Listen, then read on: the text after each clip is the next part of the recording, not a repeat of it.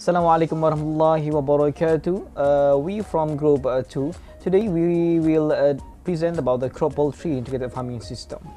Before that, let me introduce ourselves. My name is Muhammad Firdaus bin Shamsul Kamal. The matrix number is 22DAG20F1026. My name is Ainun Jara binti Sulaiman.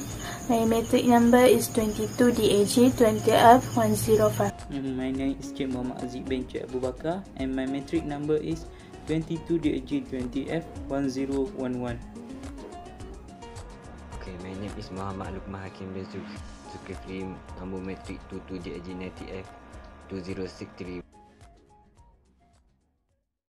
We're going to the introduction. Uh, crop poultry integrated farming system is a combination of uh, crop and poultry that may bring numerous benefit to crops as well as a higher level of uh, revenue farmer. So the farmer can get a lot of benefit and also it can increase uh, their profit. The advantage of integrated farming system is it can increase productivity both on crop, animal and farmer. For example, it can increase productivity in quality and quantity of processed food. The quality and quantity of food will help to increase the productivity because high quality food will be the choice and attraction for everyone. Explain the disadvantage of crop poultry integrated farming system.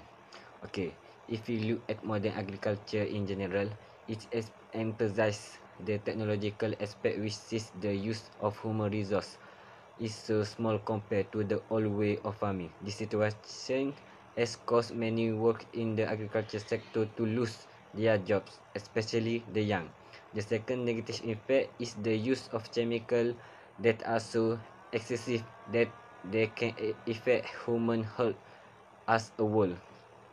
For the conclusion, the crop poultry farming system is a method of poultry uh, farming combined with uh, agriculture that can provide high profit to its operator. This is because farmers do not have to incur high cost to buy fertilizer for crop and feed for poultry. Mm, that's all from my group. Thank you.